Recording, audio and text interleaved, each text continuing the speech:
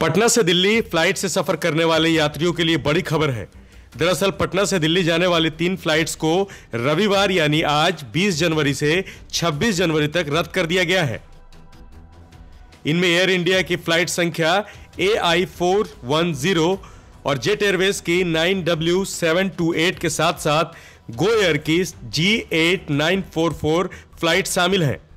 आपको बता दें कि इन विमानों के रद्द होने की वजह गणतंत्र दिवस परेड रिहर्सल और इसको लेकर दिल्ली में एक खास अवधि के लिए नो फ्लाइंग जोन बनाना है। इसके कारण दिल्ली से उस अवधि में पटना आने और जाने वाली तीन फ्लाइट्स को रद्द किया गया है। नो फ्लाइंग जोन का मतलब कि एक सीमित क्षेत्र में किसी भी चीज़ की उड़ान को पूरी तरह से बंद कर देना है। कहीं ना कहीं इसके बाद से पटना से दिल्ली जाने वाले यात्रियों को परेशान होना पड़ सकता है। पहले से तय प्लान कैंसिलेशन होने के कारण इन यात्रियों को फ़्लाइट के रद्द होने की सूचना पहले से ही एसएमएस के द्वारा दे दी गई है। उनके पटना से दिल्ली जाने की वैकल्पिक व्यवस्था भी कर दी गई है। 27 जनवरी से अपने नियत समय के अनुसार फ़्लाइट पटना से दिल्ली के लिए उड़ान भरेंगी। आपको बता दें कि 26 जनवरी को सुबह से लेकर समारोह समाप्त होने तक राजपथ से लेकर लाल किले तक नो फ्लाइंग जोन होगा। यहाँ पर किसी भी प्रकार के हवाई जहाज़, हेलीकॉप्टर या फिर ड्रोन उड़ाने की इजाज़त नहीं होगी।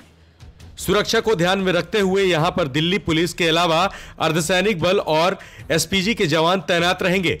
इसके अलावा खुफिया विभाग के अधिकारी भी यहाँ पर तैनात रहेंगे ताकि मौजूद लोगों पर नज़र रखी जा सके।